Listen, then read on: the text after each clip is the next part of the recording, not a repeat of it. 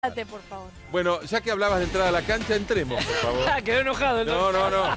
Me hicieron calentar. Bueno, a ver, ayer les contaba sobre el panorama que se le viene a Messi. La primera buena noticia para toda la gente del PSG, los jugadores sobre todo, es que mañana no juegan de visitante, porque te digo, el clima que hay en París contra Mbappé, contra nuestro Lionel Messi, contra el entrenador, a quien en cualquier momento vuelan, es muy caliente porque el PSG ha quedado afuera de la Champions, que era el gran objetivo.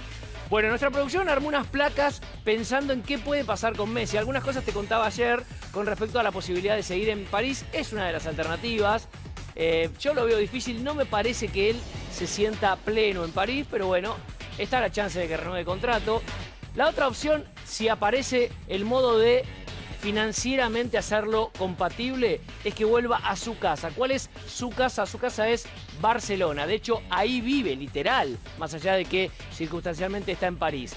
Aparece la opción del fútbol de la Liga de los Estados Unidos y el Inter de Miami siempre lo tuvo entre los objetivos.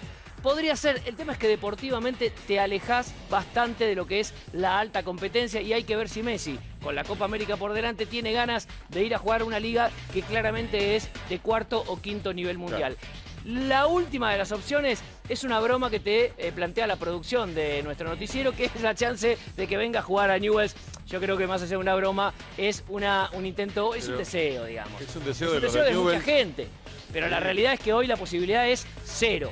Cero de que Messi venga a vivir y a jugar en el No. fútbol argentino. Y creo que las eh, razones son obvias. Así que Sí. eh, me parece que no. Ya las Ah, contamos hace unos cuantos días. No es una opción, te digo. No es opción.